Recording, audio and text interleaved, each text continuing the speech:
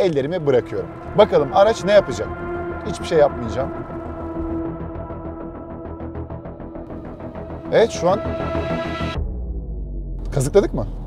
Web Tekno'dan ve yağmurlu bir İzmir gününden hepinize merhaba arkadaşlar. Ben Merdan ve bugün yanımda bir adet otonom sürüş teknolojisine sahip aracımız var. Bildiğiniz gibi otonom sürüşlü araç teknolojileri bir süredir hayatımızda ama bu gitgide geliştirilmeye devam ediyor. Biz de bugün bu özelliğe sahip araçlardan birisini yanımıza aldık. Peki neden? Otonom sürüşlü aracı kullanırken öyle ben kurayım da gideyim arka koltuğa yatayım diye bir şey yok. Bunu yapan insanların geçirdiği kazaları zaten biliyoruz. Araç da bunun önüne geçmek için sizin belirli aralıklarla direksiyona dokunmanızı istiyor. Ama bugün o direksiyona dokunmayacağız arkadaşlar. Elbette bütün güvenlik önlemlerimizi alarak ve araç ne yapacak bunu görmek istiyoruz. Onun dışında otonom sürüşü kandırmak için birkaç yöntem olduğu söyleniyor. Onun için de burada gördüğünüz bir adet portakalım ve biri de pet şişem var. Tüm bu yöntemleri kullanarak bu gördüğünüz aracı kandırmayı deneyeceğiz. Bakalım mümkün olacak mı? Hemen bir içeri girelim, bir kuruyalım, devam edelim. Dostlar şimdi otobana doğru çıktık ve yağmurlu bir gün seçtiğimiz için olabildiğince dikkatli olmaya çalışıyoruz. Ayrıca şunu söyleyebilirsiniz abi hani yani bunu trafiğe kapalı bir alanda neden çekmedin, ne bileyim bir pistte neden çekmedin diyebilirsiniz. Sonuçta siz trafikte yaşayacaksınız. Bu yüzden en doğru deneyimi vermek için şu an yaptığımız şeyi yapma durumundayız aslında. Ama tabii ki yine sağ şeritte olabildiğince yavaş ve sakin şekilde bu deneyimi sağlamaya çalışacağız. Aktif direksiyon yardımcımız açık, aktif şerit değiştirme yardımcımız açık. Hızımızı sabitleyeceğiz, direksiyonu ve şeridi tamamen araca bırakacağız ve bekleyeceğiz. Araç bizden direksiyonu tutmamızı isteyecek ve hiçbir şekilde kendisine dönüş yapmayacağız. Bakalım araç ne yapacak? Bunun dışında birkaç otonom sürüşte aracı kandırma taktiği varmış. Direksiyona portakal sıkıştırıyorlarmış, pet şişe sıkıştırıyorlarmış. Bunları da deneyeceğiz. Bakalım gerçekten bu teknolojiyi kandırmak mümkün mü? 75'te sabitledim. Hem direksiyon hem şerit takibim araçta açık vaziyette ve ellerimi bırakıyorum. Tabii şöyle tutacağım ne olur ne olmaz yani şeyi de elinden bırakmayalım. Kendimizi makineye de emanet edecek değiliz yani. Evet şu an direksiyonu tutmamı istiyor araç. Direksiyon ikonu şu anda kırmızı yanıyor arkadaşlar. Bekliyoruz. Cevap vermeyeceğiz. Hala cevap vermeyeceğiz. Ve evet sesli uyarı geldi. Sesli uyarı gelmeye devam ediyor.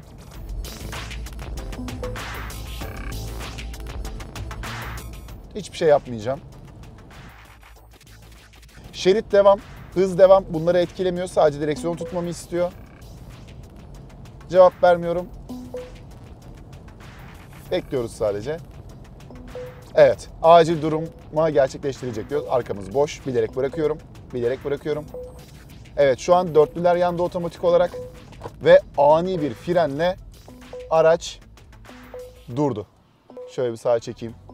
Normalde açık söyleyeyim ben aracın sağa çekmesini yani bir şerit daha yana çıkmasını bekliyordum. Araba olduğu yerde yolun ortasında durdu. Bu ne kadar okey çok emin olamadım açıkçası. Dostlar çok kısa araya giriyorum çünkü aklımıza bir şey takıldı kurgu sırasında. Şimdi biz en sağ şeritte giderken araba bizi bu şeritte olduğu gibi durdurdu diyorum. Sonra aklımıza şu geldi. Acaba araba zaten en sağda olduğunu fark ettiği için mi bunu yapıyor? Sol şeritte olsaydı yine orada durur muydu yoksa bizi sağa götürür müydü? Sonra Mercedes'ten bir arkadaşımıza sorduk ve arkadaşımız da bize araç hangi şeritteyse orada kalıyor dedi. Yani solda ya da sağda olmamız bir şey değiştirmiyormuş. Biz bunu öğrendik. Aklımızdaki soru işareti gitti ama sizin de bilginiz olsun istedik. Şimdi videoya devam edebiliriz. Burada gördüğünüz minik tuşa bastığımda bir adet portakalım var. Bu portakalla ne yapacağız arkadaşlar? Evet burada iki portakalı da direksiyonumuza sıkıştırdık. Tekrar harekete geçeceğim. Arkamız boş, yanlarımız boş, sıkıntı yok.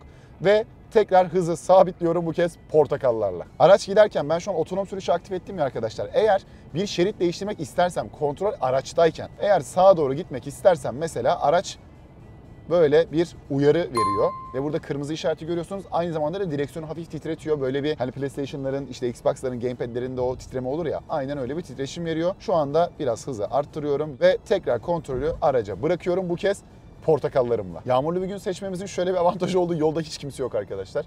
Sadece işte yük taşıyan abilerimiz yolda seyrediyor. Evet yemedi. Yemedi. Yemedi. Ben şu direksiyonu tutacağım bir. Direksiyondan çıkardım portakalları. Şu an bekliyorum. Bir kez daha uyarı vermesini bekleyeceğim. Bir dakika. Araç hızını arttırdı kendi kendine. 120'ye aldı. Dur dayı dur. İstemiyorum 120 kilometre. Araç ben biraz daha hızlı gitmek istiyorum dedi resmen bize ama şu an bunu yapamayız. Kusura bakmayacak. Aracın benden tekrar direksiyon uyarısı vermesini bekliyorum. Verdiğinde bu portakalı buraya sokuşturacağım. Şu an yeşil yandı. Evet şu an kazıkladık mı? Hayır yemedi dur. Hemen bir portakal daha soktuk. Şöyle yaptık. Yok yemiyor. Yedi gibi oldu ama büyük ihtimalle benim elim değdiği için. Bu ne kadar hassas ya. Bekliyorum şu an.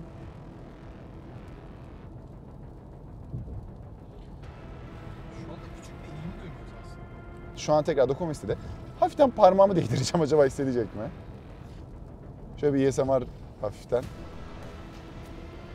Evet şu anda Mercedes'inizi Aha. Bu arabayı ASMR seviyor. Portakalları yolda anca yemek için kullanabilirsiniz. Portakallarda böyle bir durum olmuyormuş. Bunu görmüş olduk. Bir kez daha sağa çekiyoruz. Direksiyon farklı bir yapıda olsa şişeyi direkt sokabilirim böyle ama bu direksiyonu biraz bu aralıkları geniş olduğu için yani şuralara falan sokamıyorum. Bu yüzden biraz içip şöyle katlayarak yön vereceğim. İçmem gerekiyor bir iki. Evet şimdi suyun seviyesini buraya kadar getirdik arkadaşlar. Şöyle bir şuraya sıkışacak şekilde. Durur tamam. Tabii önce bir hareket edelim. Bu arada iPhone 14 Pro Max ile ilgili sağlamlık testi mesajlarınızı, yorumlarınızı görüyoruz arkadaşlar. Bunları dikkate alıyoruz tabii ki ve o bir önceki yaptığımız videonun devamını hep birlikte göreceğiz. Güzel bir şey hazırlıyoruz sizin için. Hızımızı tekrar bir 70'e sabitleyelim. Bunu buraya sokacağım uyarı verdiğinde. Verdi. Şöyle yaptım. Şöyle dokundum, bıraktım. Bakalım ne olacak. Vermiyor uyarı şu an derken. Peki şöyle bir şey yapsak ne olur Mami? Şu an tutmamı istiyor. Şuradan şöyle bir portakalı soktum. Elimdeydi o yüzden büyük ihtimalle tekrar yeşile döndü. Bekliyoruz.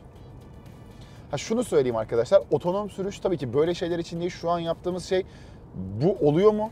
Bu oluyorsa eğer bunun bir şekilde markalar tarafından, bu yapay zeka tarafından düzeltilmesi gerek. Biz aslında bunu anlamak için çekiyoruz. Bir hile öğretmek istemiyoruz size. Çünkü bunun çalışmaması demek bir can kaybı demek arkadaşlar.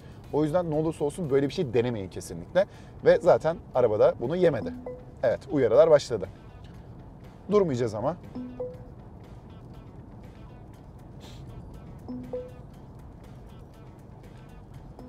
Evet, araç acil durumla gel dur. Evet, ara ve araç acil durdurma gerçekleştirecek dedi ve araç bizi yolun ortasında durdurdu. Şöyle bir sağa çekelim yine.